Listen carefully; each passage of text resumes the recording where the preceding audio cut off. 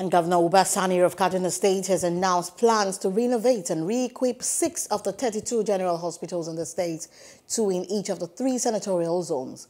The governor cited the lack of renovations as a reason for citizens to travel to neighboring states for medical care. The governor also emphasized the importance of education as the greatest enabler for the children of the poor. As the governor also urged business moguls Alhaji Adamu Atta of Fifth Chukker and Alhaji Bukar Shatima of Barbados to build fences for 100 schools as part of the government's Safe School initiative. The project is expected to begin in the coming days. Most of the patients from Kaduna have to travel to some neighboring states for medical attention. And as a governor, I feel it's unacceptable.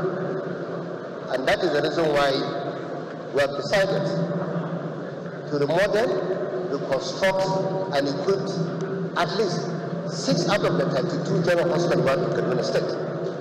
And the projects for the remodeling and reconstruction will begin by the grace of God on Monday, that is the next few days. Hello, hope you enjoyed the news. Please do subscribe to our YouTube channel and don't forget to hit the notification button so you get notified about fresh news updates.